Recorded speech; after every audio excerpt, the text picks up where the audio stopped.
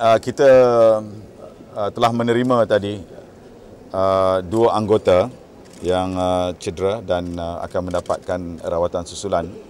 uh, di Hospital Tuanku Bainon dan um, saya lihat um, keadaan mereka tadi dan kita semua menyaksikan.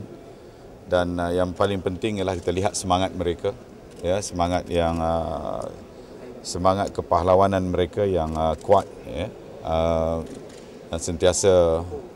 uh, berada dalam uh, suasana yang keadaan yang baik ya. Dan uh, bagi pihak kerajaan negeri saya telah pun uh, maklumkan sebelum ini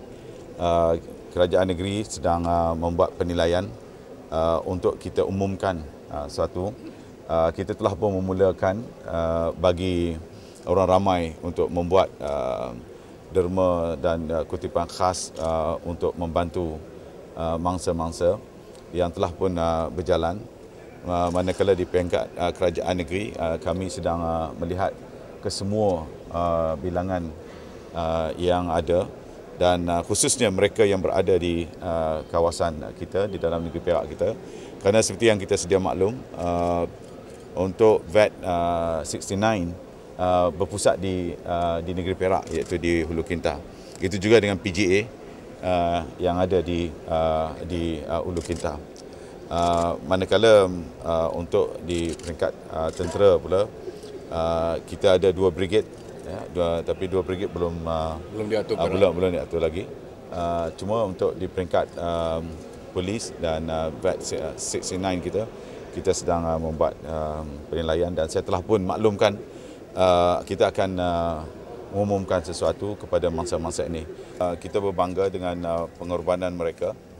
dan uh, saya minta kepada semua pihak supaya kita menyatakan semangat patriotisme kita tidak kira daripada latar belakang apa sekalipun sama ada politik A atau politik B yang paling penting sekarang ini negara kita berada dalam Uh, keadaan uh, dia diserang uh, oleh satu gerombolan yang tidak bertanggungjawab. Maka menjadi tanggungjawab dan kewajipan bagi kita semua untuk menunjukkan ketaatan dan kesetiaan kepada negara dan memberi keyakinan ya. Kita seharusnya berbangga dengan pengorbanan dan perjuangan anggota tentera dan juga polis kita. Ya, jadi jangan adalah mana-mana pihak yang mengeluarkan kenyataan-kenyataan yang tidak bertanggungjawab uh, memperli itu dan ini yang seolah-olah ada yang cuba mengatakan uh, mereka pergi ni untuk untuk apa nama uh, untuk makan angin ya yang apabila uh, mereka naik kapal terbang ada yang mengatakan bahawa uh, naik kapal terbang kapal terbang tambang murah. Ini dalam suasana yang begini sepatutnya mana-mana pihak uh, jangan mengambil kesempatan ya untuk um, meraih uh, kepentingan politik masing-masing. Sepatutnya di waktu ini kita ketepikan kepentingan politik ini kerana ini ini persoalan kedaulatan negara kita dan kita seharusnya ya merasa sedih dengan kehilangan uh, nyawa anggota-anggota kita yang berada di medan perang di medan hadapan untuk mempertahankan negara kita, kedaulatan kita. Ya sepatutnya kita menyatakan simpati Karena walaupun kita tidak boleh berada di sana, kita yang berada di sini sepatutnya kita berdoa